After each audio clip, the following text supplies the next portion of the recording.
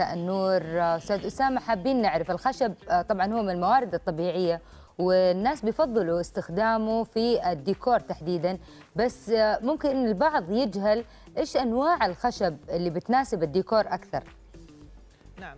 بداية الخشب عنصر مرة أساسي في الأثاث في ال design في التصاميم. فعندنا أفضل أنواع الخشب آه، اللي هو خشب الزان آه، خشب السنديان آه، المهوغوني. وطبعا أشهرهم ال MDF الألواح ال MDF وفي كثير أنواع بس إحنا نتكلم عن الشيء السائد والمتوفر دائما عند الموردين. خلينا نتعرف أكثر.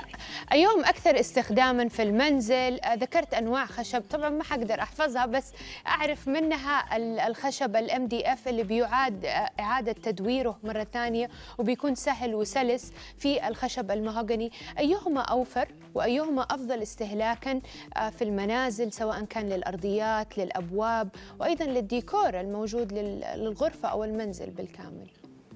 نعم.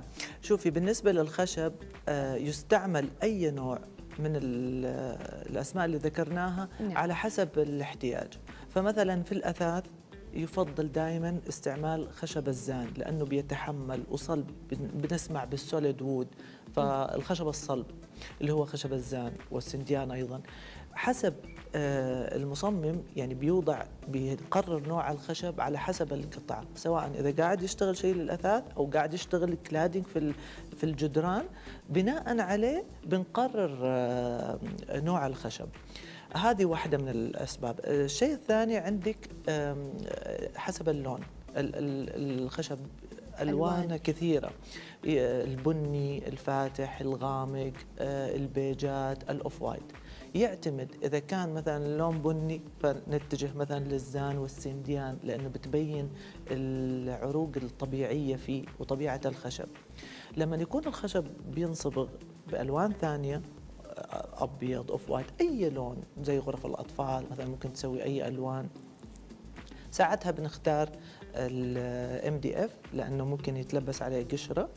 طبقات تنحط عليه أو ينصبغ بال- بالمواد الم- المتوفرة.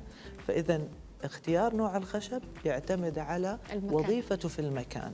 وين حتوظفيه؟ وإيش هو الستايل كمان اللي حينطلب